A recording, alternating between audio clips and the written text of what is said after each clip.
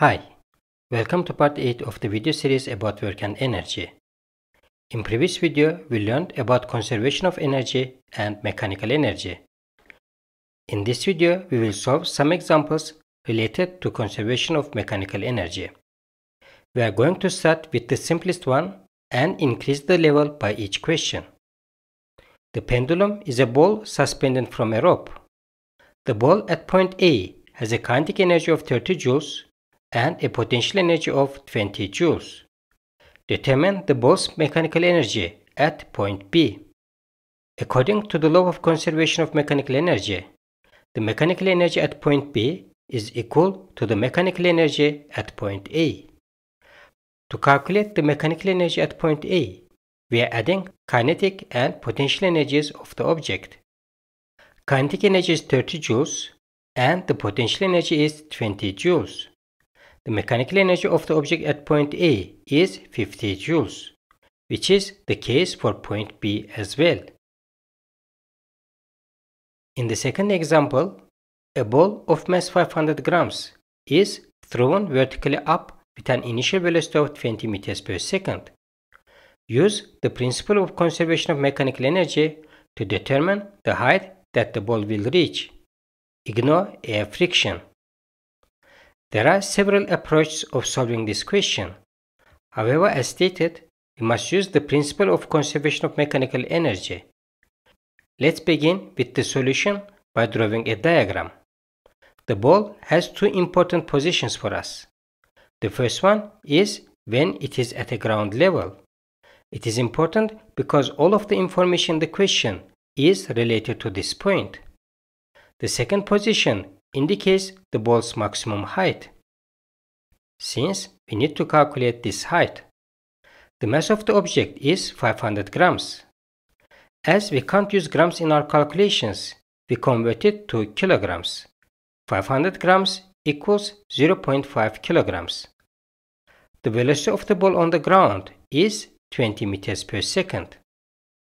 According to the principle of conservation of mechanical energy, it remains constant at both maximum height and ground level. Mechanical energy is the sum of kinetic and potential energies. Kinetic energy can be calculated as 1 over 2 times mass of the object multiplied by the square of its velocity. And potential energy is the product of the mass of the object, gravitational acceleration, and the height of the object. As the ball rises, its velocity decreases until it reaches its maximum height, at which point it stops and velocity becomes zero.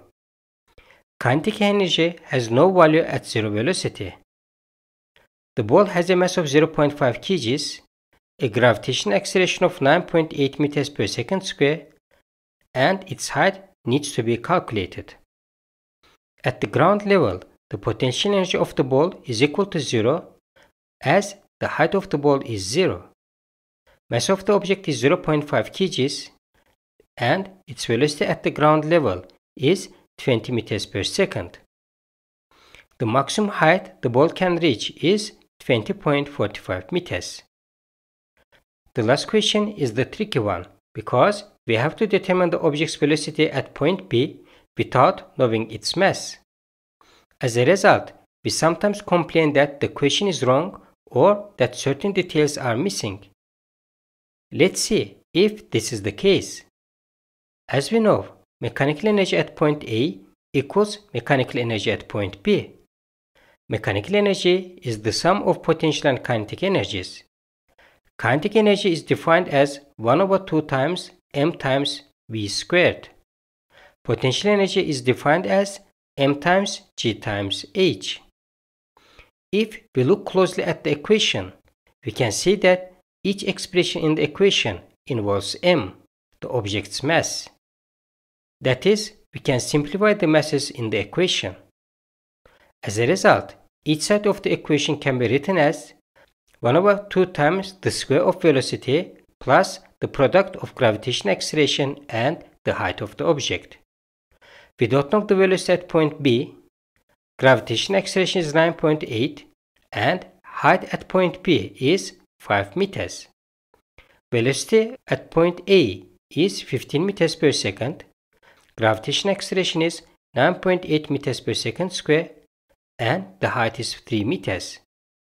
Velocity of the object at point B is 13.63 meters per second. In this video, we solved some examples related to conservation of mechanical energy. In the next video, we will learn about work energy theorem. Thanks for watching. Don't forget to subscribe and turn on notifications in order to be updated about the new videos.